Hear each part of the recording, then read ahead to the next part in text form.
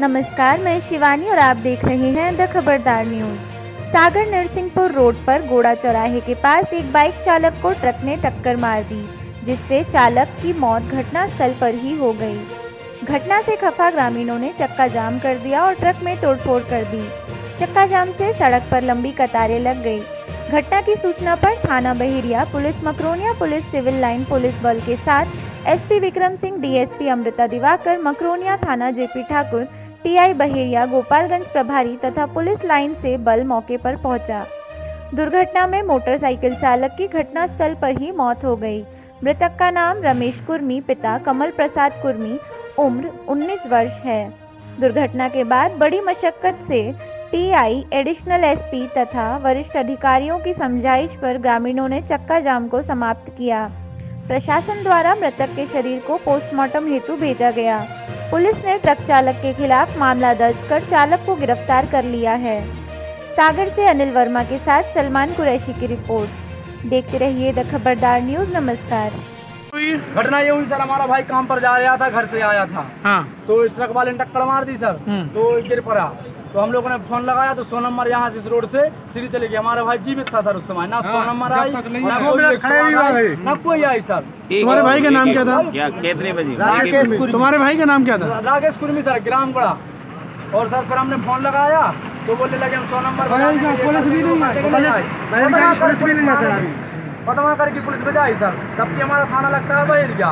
तो बहिर के पुलिस अभी आई है नौ बजे एक सौ नौ बजे। दो घंटे हमारा भाई अब आप चाहते क्या हो? अब हम ये चाहते हमको न्याय चाहिए सर। कैसा न्याय चाहिए? जैसा आप न्याय चाहिए हमारा सर एक मिनट और हमारा भाई यहाँ से उठा लेगा ना कोई इसका हम हम उसके बड़े भाई ना हमको बैठा ला गाड़ी में ना उसके हमारे पिताजी को ना हमारे कोई रिश्तेदार को। आपका नाम क्या है? नाम हमारा सतीश कुर्मी ग्राम गुड़ा।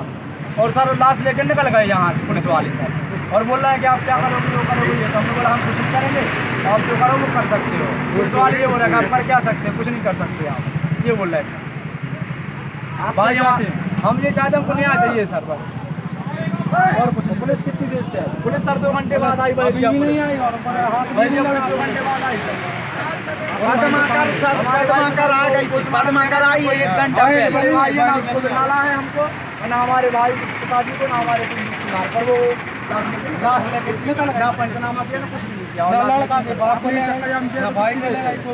दस मिनट से हुआ चक्का जाम हम लोगों ने किया चक्का जाम हो गया था तो हमने बंद कर दिया पुलिस आई पुलिस प्रशासन चक्का जाम कर दिया क्योंकि पुलिस आई नहीं थी हमारी मदद तो हमने कर दिया आपके भाई तो सुनाई तो आगे आप क्या सर हम कुछ भी कर सकते हैं सर कोर्ट में जाएँगे सर आगे हमारे भाई तो हम सर कोर्ट में खड़े होंगे जाएँगे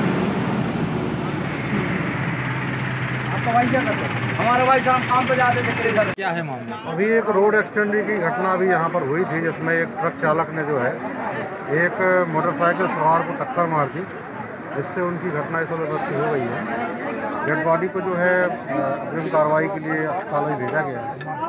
और इसके प्रकरण की भी पुलिस अभी जाँच कर सर उनका आरोप है कि पुलिस बहिरी पुलिस लेट आई थी जब टाइम पे आ जाती तो सौ नंबर बाजू से निकली थी। तो तो इसकी जाँच की जाएगी कि पुलिस को सूचना कब मिली और पुलिस कब पहुँची। अगर इसमें विलम्ब पाया जाता तो उसमें कार्रवाई सर करीब एक घंटे जाम लगा रहा लोग यात्री परेशान रहे। आज भी सौ यहाँ पर था सौ के पास परिजन भी इनके थे थोड़ा आक्रोशित भी थे।